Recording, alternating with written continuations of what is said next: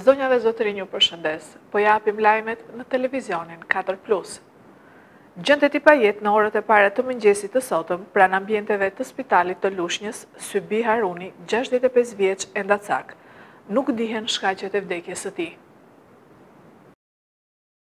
Një person është gjetur i vdekur në orët e para të mëngjesit të sotëm pranë ambienteve të spitalit të Lushnjës. Viktima është Sybi Haruni, gjashtëdhjetë e pesë vjeç, endacak nga Lushnja. Pas konstatimit të trupit të pajetë nga punonjësit e spitalit, u njoftua policia. Endacaku u gjet në orën shtatë e tridhjetë nga punonjësit e spitalit në afërsi të garazheve të ambulancave. Mësohet se gjashtëdhjetë e pesë vjeçari ka qenë i martuar dhe është divorcuar, ndërsa ka edhe një fëmijë. Prej kohësh ai ishte i pastrehë dhe endej rrugëve. Ndërkohë për përcaktimin e shkaqeve të vdekjes së tij, pritet të bëhet autopsia.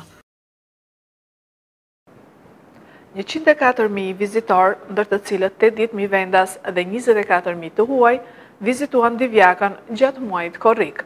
Natyra e egër, klima, deti, e bëjnë Divjakën një vend unik dhe të dëshiruar për t'u vizituar sërisht. Muaji gusht është kulmi i sezonit turistik për Divjakën. Numri i vizitorëve gjatë korrikut, sipas të dhënave zyrtare nga Administrata e Zonave të Mbrojtura, arrin në njëqind e katër mijë vizitorë, ndër të cilët tetëdhjetë mijë janë vendas dhe njëzet e katër mijë të huaj. Turistët që vizitojnë për herë të parë Parkun Kombëtar Divjakë Karavasta, tërhiqen më shumë nga vende si Qendra e Vizitorëve, Kulla treqind e gjashtëdhjetë gradë dhe Flota e Varkave për shëtitje në natyrën e egër e të ruajtur të Lagunës së Karavastasë. Vizitorët vendas e të huaj impresionohen nga natyra e bukur e parkut, klima, por kanë edhe rezerva, kryesisht në drejtim të pastërtisë. Po, unë vij gjithmonë këtu, thuajse çdo javë dhe gjithmonë ngelem me përshtypje më të mira. Nëse do të filloj me vërejtje, se është pjesa më e mirë, po në disa zona të Divjakës ka akoma papastërti. Ne kemi folur herë pas here edhe me qendrën këtu që të marrin disa masa për pastrimin, qoftë nga ata vetë, qoftë me programe, projekte të ndryshme. Besoj, do rregullohet kjo siç e kemi parë dhe në zonat tjera.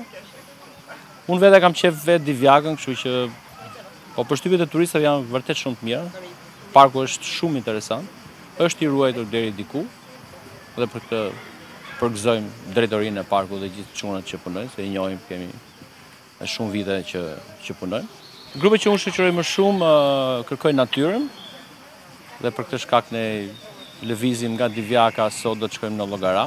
Janë grupe sportive kryesisht, megjithëse kemi edhe grupe kulturore. Do bëjmë një ecje të shkurtër sot në Divjak, do shkojmë edhe tek shohim pelikanët nga kulla e vrojtimit. Besoj do të jenë tek ishulli matanë. Pak të nismë javën që shkoi. Ndodhemi këtu në Parkun e Divjakës për një vizitë në shoqërimin e një grupi turistik francez, që janë një përzierje, rasti i këtij grupi janë familje me fmi edhe këta prindërit, do më thënë, dhe kanë zgjedhur të bëjnë këtë itinerar që përfshin natyrën, siç është Parku i Divjakës, përfshin jugun e Shqipërisë, Rivierën, kanë lëvizje me kanoe, kajak, pak aventurë, por një udhëtim që përfshin edhe historinë, sepse kemi vizita të Apollonisë për shembull dhe të Beratit, siç është dhe Berati.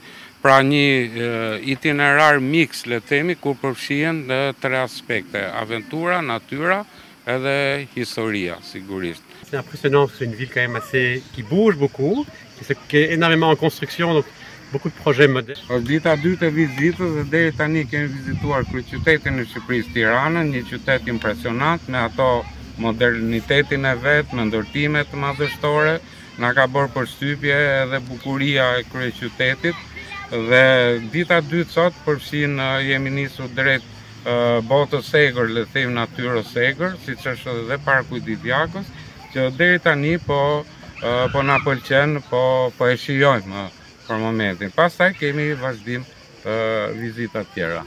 Në Divjak, vizitorët shijojnë natyrën e egër dhe mesazhi i tyre është që natyra duhet ruajtur pavarësisht tendencave në rritje për investime në këto zona. Shtatë muajt e parë, Shqipëria u vizitua nga pesë pikë një milion të huaj, një pikë shtatë milion vetëm në korrik, thotë ministrja e Turizmit, Mirela Kumbaro. Gjatë vitit dy mijë e njëzet e tre, Shqipëria ka qenë një ndër destinacionet më të rekomanduara për të kaluar pushimet nga të gjitha mediat ndërkombëtare. Mbi një pikë shtatë milionë turistë të huaj hynë në vend vetëm në muajin korrik, sipas ministres Mirela Kumbaro. Vetëm për korrikun, një pikë shtatë milionë vizitorë të huaj kanë zgjedhur të vizitojnë Shqipërinë, ose njëzet e gjashtë për qind më shumë krahasuar me një vit më parë. Që prej fillimit të vitit dy mijë e njëzet e tre, kemi pritur pesë pikë një milionë vizitorë të huaj, ose tridhjetë e një për qind më shumë se viti dy mijë e njëzet e dy. të cilët vijnë me kuriozitetin e madh për të zbuluar diversitetin e destinacioneve turistike dhe largohen me premtimin për t'u rikthyer sërisht, tha ministrja e Turizmit dhe Mjedisit, Mirela Kumbaro. Shifrat e publikuara nga Ministria e Turizmit tregojnë që mbi pesë pikë një milionë vizitorë të huaj tërhoqi Shqipëria gjatë shtatë muajve të parë të këtij viti. Kemi një rritje me tridhjetë e një për qind krahasuar me të njëjtin periudhë të një viti më parë. Vizitorët nga Kosova si gjithnjë mbajnë vendin e parë, por janë në të njëjta shifra si vitin e kaluar. Ajo që bie në sy gjatë këtyre muajve janë turistët nga Spanja të cilët kanë shënuar rritje me dyfish krahasuar me një vit më parë. Rritje me njëqind e dyzet e dy për qind kanë patur dhe vizitorët nga Turqia, ndërsa sipas ministrisë është parë një numër i lartë edhe i vizitorëve nga Malezi me gjashtëdhjetë e dy për qind, Franca me pesëdhjetë e tetë për qind e Italia me pesëdhjetë e tre për qind më shumë krahasuar me vitin që shkoi. Por nga ana tjetër shifrat tregojnë edhe për një rikuperim të vizitorëve nga Ukraina, duke shënuar njëqind e pesëdhjetë e tre për qind më shumë hyrje krahasuar me vitin dy mijë e njëzet e dy. Fluks të lartë vizitorësh me njëqind e pesëdhjetë e dy për qind më shumë ka patur edhe nga Kina, kjo falë marrëveshjes së bashkëpunimit për heqjen e vizave midis dy vendeve dhe promovimin e ndërsjelltë. Gjatë vitit dy mijë e njëzet e tre Shqipëria ka qenë një ndër destinacionet më të rekomanduara për të kaluar pushimet nga të gjitha mediat ndërkombëtare.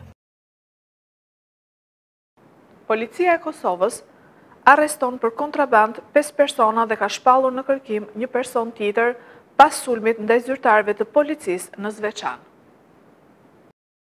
Policia e Kosovës ka arrestuar pesë persona dhe ka shpallur në kërkim një person tjetër pas sulmit ndaj zyrtarëve të policisë në Zveçan, ndërsa ata po luftonin kontrabandën, tha zëvendësdrejtori i Policisë për Veriun, Veton Elshani. Ai sqaroi se në orët e hershme të së premtes, policia ka tentuar të ndalë një kamion me mallra kontrabandë kur dhe nisën të shtëna nga grupi të cilave policia iu është përgjigjur po me të shtëna, nuk ka të plagosur. Policia ka arrestuar pesë persona dhe është në kërkim të një tjetri, tha Elshani. Ndërkohë, ky informacion është përhapur në rrjetin social Telegram dhe lajmi është keqinterpretuar duke thënë se policia e Kosovës ka qëlluar me armë sërbët në Kosovë dhe ka rrëmbyer pesë prej tyre. Kamioni në të cilin kanë qenë sërbët është bërë shosh nga plumbat, nuk ka informacione nëse dikush është plagosur, është thënë në njoftimin e bërë nga kanali, Rebelimi është stil jete. Ky dhe kanale të tjera në gjuhë sërbe janë aktive që nga rritja e tensioneve në veri të Kosovës në fund të muajit maj. Në një kanal tjetër në Telegram është thënë edhe se sërbët dyshohet se kanë tentuar të dërgojnë furnizime në veri të Kosovës, përmes rrugëve alternative dhe bëhet pyetja nëse transportimi i produkteve ushqimore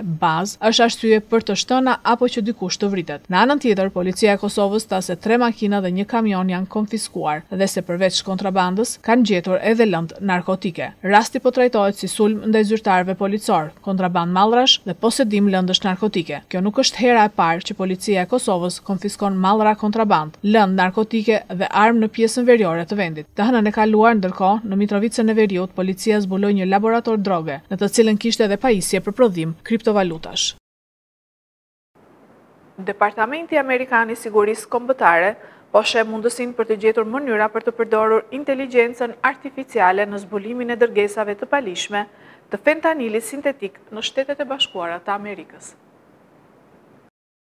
Kufiri SHBA-Meksik, një portë e rëndësishme për fluksin e njerëzve dhe tregtisë, po shfrytëzohet gjithnjë e më shumë për kontrabandë të drogave të ndryshme, si fentanili. Për t'i dhënë zgjidhje këtij shqetësimi në rritje, Sekretari i Sigurisë Kombëtare të Shteteve të Bashkuara të Amerikës, Alejandro Mayorkas, njoftoi në prill krijimin e një grupi të ri pune. Trafikantët e drogave po bëhen më të sofistikuar e më të fuqishëm, deklaroi ai. Ndër të tjera, grupi do të shqyrtojë mënyrat se si mund të përdoret inteligjenca artificiale për të zbuluar dhe frenuar hyrjen e drogave të paligjshme në Shtetet e Bashkuara. Ne do të shqyrtojmë përdorimin e kësaj teknologjie për të zbuluar më mirë dërgesat e fentanilit, tha Sekretari Mayorkas. Pat Simpson, ish-drejtor i Doganave dhe Mbrojtjes Kufitare, thotë se sot në treg ka sisteme që mund të përmirësohen më tej me teknologjinë e inteligjencës artificiale. Një shembull është ai që quhet sistemi i tomografisë muon, i cili mund të japë një imazh më të saktë të objektit që skanohet, krahasuar me teknologjinë me rreze X që përdoret aktualisht. Rrezet X nuk depërtojnë dot në një ngarkesë të dendur, por sistemi i tomografisë Muon mund të depërtojë duke i lejuar oficerët të shohin saktësisht se çfarë është brenda ngarkesës, thotë Pat Simmons. Kjo mund të jetë veçanërisht efektive me kontejnerët ku mund të fshihet fentanili. Një mënyrë tjetër se si mund të ndihmojë inteligjenca artificiale është përmes analizës së kalimeve të automjeteve në kufi. Cilët janë personat që kalojnë, sa shpesh, po ashtu dhe automjeti dhe regjistrimi i patentës,